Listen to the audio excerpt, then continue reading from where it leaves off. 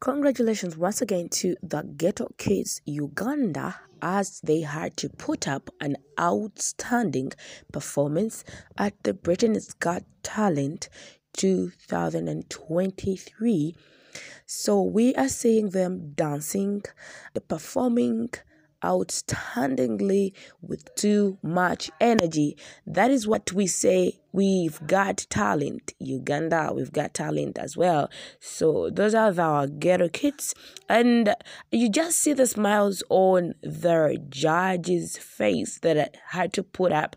You can see um, every judge, you can see the movements of every ghetto kid. You can see how happy our judges are. So, what do you say about these performances? They had to perform in the semi-finals, and it was really outstanding. It was really good. The moves they make, trust me. Hmm, who knows?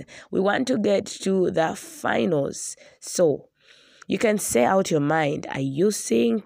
Uganda in this in the finals because if we manage to pass to if we manage to pass through the semi-finals that means we can also do it to the finals because trust me their performance is always outstanding it makes the judge smile it makes the judge see a different talent that they have never experienced on the British's Got. Anyway, comment down below in my comment section. What do you think about this outstanding performance that the Ghetto Kids managed to show the judges? I love you all. Have a lovely one. Subscribe to the channel for more updates to come.